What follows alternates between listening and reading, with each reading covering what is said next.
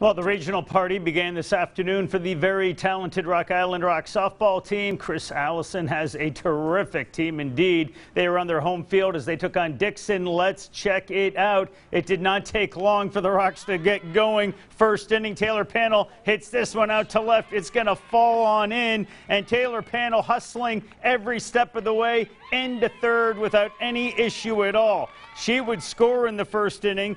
Delia Schwartz hits this one out to right field.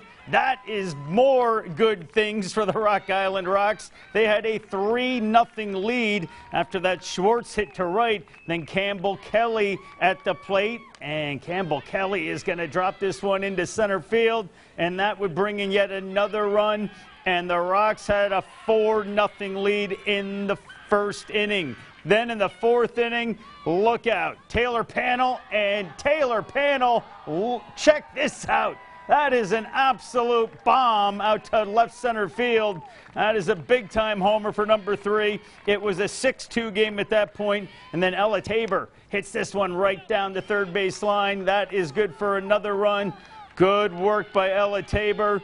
And the Rocks were rolling. They rolled all day to an 8 3 win over Dixon.